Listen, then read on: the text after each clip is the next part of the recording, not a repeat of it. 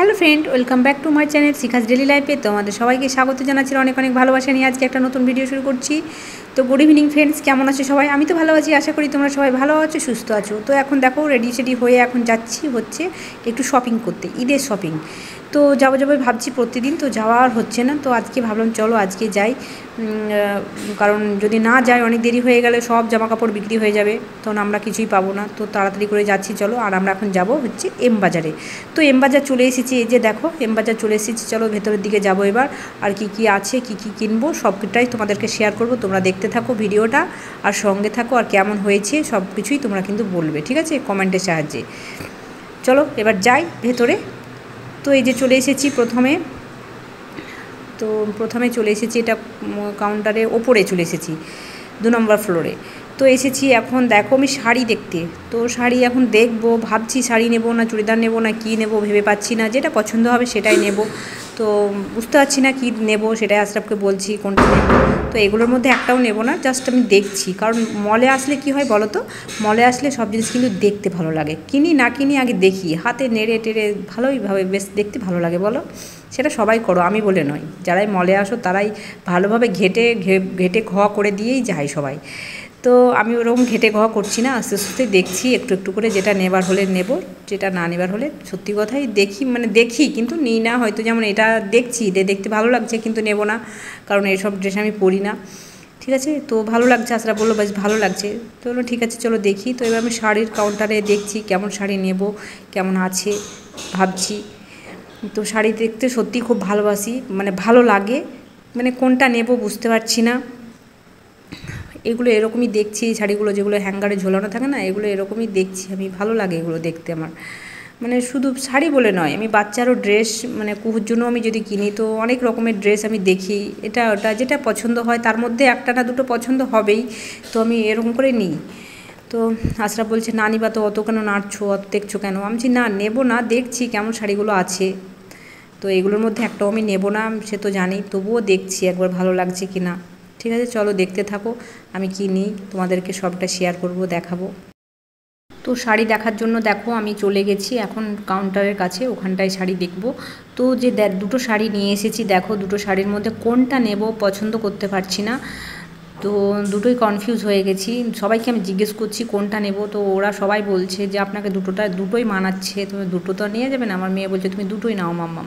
তো দুটো তো নেওয়া যাবে না, যে কোনো একটা নেব। তো কোনটা নেব বুঝতে পারছি না কনফিউজ হয়ে গেছে। আশরাফকেও দেখাচ্ছি। আশরাফ তো এটা বলছে পার্পেল কালারটা তো আমাকে তো ভাব, মনে করছি যে আমি এই সবুজ কালার এটা নেব।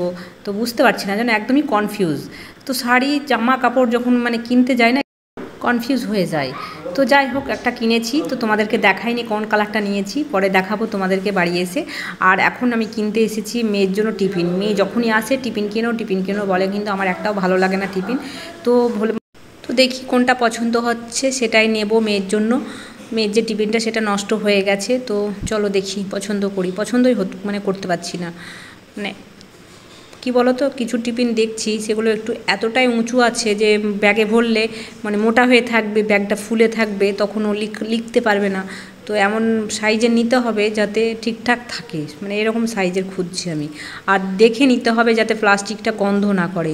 অনেক প্লাস্টিক থাকে না, এমন গন্ধ করে মানে শুকে শুকে দেখছি আমি যে গন্ধ আছে কি না, সেগুলো দেখতে হচ্ছে। তো চলো দেখি কোন টিফিন কৌটোটা নেওয়া যায়। সেটাই নেব। মেয়ে তো মানে এটা নাও মামাম ওটা নাও মামাম মানে বিরক্ত করে দিল আমাকে। তো দেখো, এই টিফিনটা আমার পছন্দ হয়েছে খুব। এটা কিন্তু গন্ধ নেই, জানো? এটার দামটাও অনেক ছিল, তিনশো এরকম কতটার দাম ছিল, ঠিক আছে? আর একটা কি ওষুধ দেওয়া থাকে না, ওটা দেওয়া ছিল, ওই জন্য গন্ধ করছিল না, প্লাস্টিকটা খুব ভালো। কিন্তু কি বলো তো এটা কিন্তু অনেকটা দেখো উঁচু হয়ে আছে, অনেকটা বেশ খাড়া টাইপের টিফিনটা।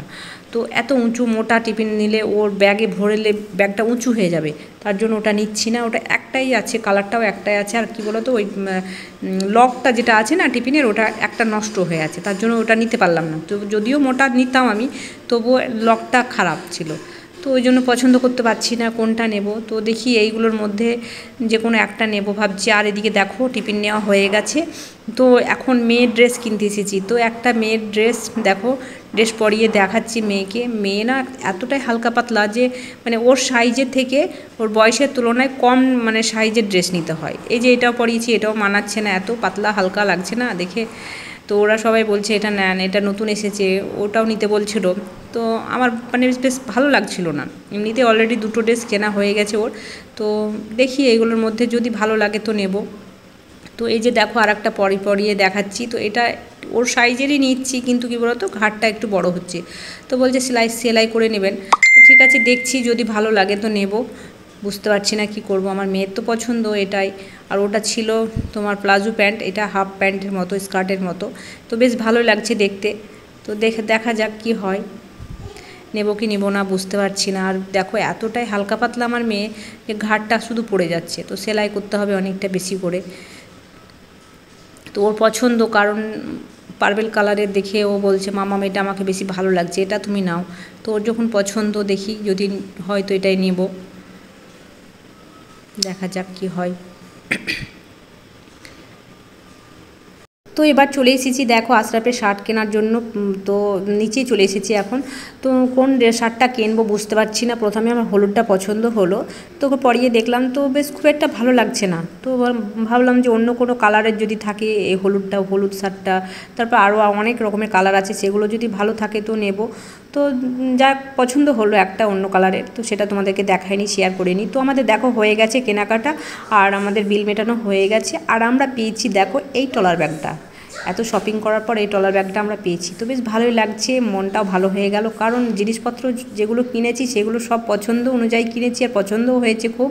ওই জন্য সত্যি আবার টলার ব্যাগটা পেয়েছি, সেটার জন্য আরও একটু মনটা বেশি ভালো হয়ে গেল। তাই না? কারণ জামা কাপড় কেনার পর এমন এমন ব্যাগ দেয় না, সত্যি মনটা খারাপ মানে ভালো লাগে না।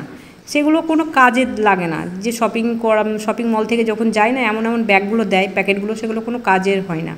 আগে তো ব্যাগগুলো কাজের হতো। মানে আগে যে দোকানে যে ব্যাগগুলো দেয় না চেন লাগা থাকে থাকে, অনেক কাজে লাগতো। কিন্তু এখন মলে যে ব্যাগগুলো দেয়, একটাও কাজে লাগে না। তো যাই হোক, এই টলার ব্যাগটা দিয়ে সত্যি মনে হলো যে না, একটা কাজের জিনিস দিয়েছে, কাজে লাগবে জিনিসটা। তো বেশ ভালোই লাগল, জিনিসপত্র কেনে সত্যি খুব ভালো লাগল মলে ভালো ভালো জিনিসপত্র আছে এম বাজারে এসে সত্যি মনটা ভালো হয়ে গেল। তো চলো এবার বাড়ি যাব, রাত সাড়ে আটটা বেজে গেছে, গিয়ে আবার রান্না বান্না সব করতে হবে। তো দেখে মনে হচ্ছে না, আমরা মল থেকে বেরোচ্ছি না, আমরা মনে হচ্ছে যে কোথাও ট্যুরে যাচ্ছি, কি ট্যুরে গেছিলাম, বাড়ি যাচ্ছি, এরকম মনে হচ্ছে, তাই না? তো চলো এবার বাড়ি যাই।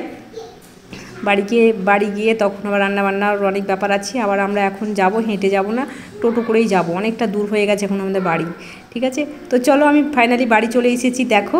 তো চলো, এবার রান্নাবান্না বসাই ড্রেস ফ্রেস চেঞ্জ করি, আশরাফ তো এসে দেখো হেলান দিয়ে বসে পড়েছে, আর আমি এখন দেখো ব্যাগটা বাইরে পড়েছি, আমরা মানে বাইরে ব্যাগ ফেলে আমরা ঘরের ভেতর ঢুকে পড়েছি। আর বাইরে কত মানে ব্যাগের ভেতর কত মূল্যবান জিনিস ভরা আছে বলো তো? পছন্দ সহকারে জিনিস কিনেছি। সেগুলো বাইরে ফেলে হবে?